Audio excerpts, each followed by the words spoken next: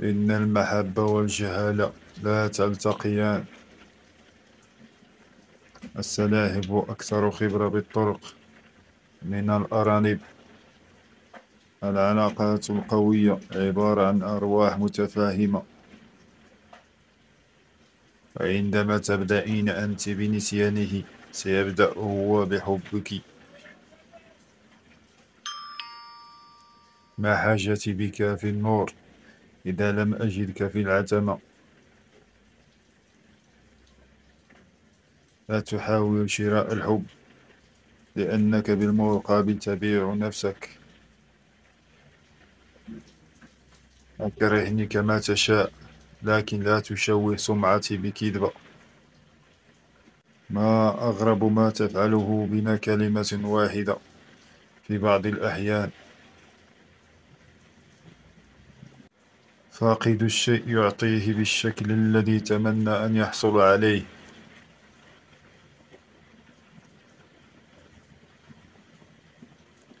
كل ما هو مفطور فينا صامت أما المكتسب فصرصار سلام على من يعرفون معنى الحب ولا يملكون حبيبا. الحزن على الأموات. غلطة من أغلاط الأجيال الغابرة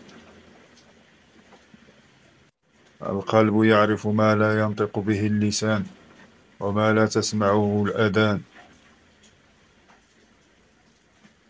من حسنات الناس أنهم لا يستطيعون إخفاء سيئاتهم طويلة كونوا الحضن الدافئ لمن تحبون.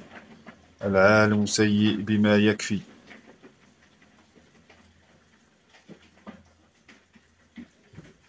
نحن نختار أفراحنا وأحزاننا قبل وقت طويل من أن نجربها. جميعنا نملك نفس العين لكن لا نملك نفس النظر للأشياء. النقاشات بين الأحبة ينهزم فيها الأكثر حبا وليس الأقل حجة. غريب أننا ندافع عن خطأنا بأكثر قوة مما ندافع عن صوابنا.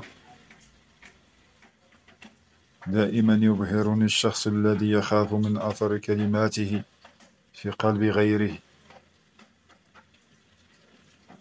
قد لا نعلم مكانتنا بقلوب بعض الناس لكننا نشعر بها من تصرفاتهم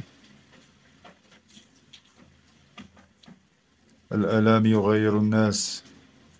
فيجعلهم يثقون أقل ويفكرون أكثر وينعزلون أطول. ما أحقرني عندما تعطيني الحياة ذهبا فأعطيك فضة ثم أحسبني سخيا. رحيل الشيء للأبد أهون بكثير من العيش على أمل عودته ولا يعود. هناك من يستوطن أعماقك من يجعلك تشعر أن الحياة جميلة مهما قست هناك من يتذمر لأن للورد شوكة وهناك من يتفاءل لأن فوق الشوك وردة الإيمان لا يمنع الأشياء السيئة من الحدوث إنما فقط يساعدك على تخطيها.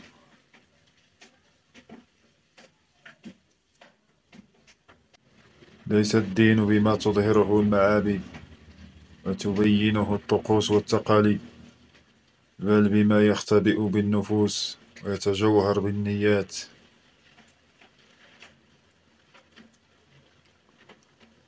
الوحدة لا تعني أبدا أنك وحيد بل تعني أنك توقفت عن الإحساس بالحاجة لأحد تعني أنك حر. لن تنضج إلا بعد أن تشعر أن لديك الكثير من الكلام ولكنك لست بحاجة إلى أن تخبر به أحدا كلما نضجت زادت قدرتك على المغفرة وزاد يقينك بأن أخطاء الآخرين لا تعني بالضرورة بأنهم سيئين. وتتوهم أحيانا أنك بقلب أحدهم شيء كبير. ولكن يمر موقف يجعلك تضحك على سخافة ظنك. لا تعود الناس على حلو الكلام دائما لأنك حين تجبرك ظروفك على الصمت سيظنون أنك لم تعد.